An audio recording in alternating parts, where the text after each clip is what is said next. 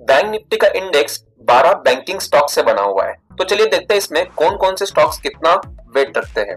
HDFC bank इसमें 30.18 percent का weight रखता है।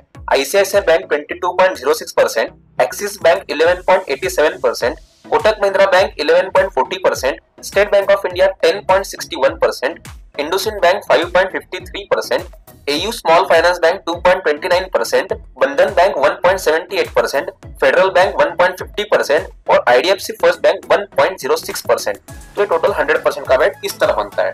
तो अब काम की बात बनाते हैं। देखिए एचडीएफसी बैंक का इसमें वेट है 30.18 परसेंट और आईसीआईसीआई बैंक का वेट है 22.06 परसेंट मतलब लगभग 52 परसेंट का वेट तो इन दो स्टॉक्स को मिलाकर ही आ रहा है। और एक आईसीआईसीआई बैंक का स्टॉक मतलब एक्सिस बैंक और कोटक महिंद्रा बैंक को मिला दिया जाए तो एक आईसीआईसीआई बैंक का स्टॉक बन जाता है तो ये जो चार स्टॉक्स है अगर ये बुलिश है तो फिर चाहे बाकी आठ स्टॉक्स निगेटिव में भी क्यों ना हो, पूरा मार्केट आपको अपसाइड में ही दिखेगा। और अगर ये चार स्टॉक्स निगेटिव में है तो फिर पूरा मार्केट भले ही क्यों ना आपको पॉजिटिव में दिखे, फिर भी इंडेक्स आपको निगेटिविटी में ही दिखाई पड़ेगा।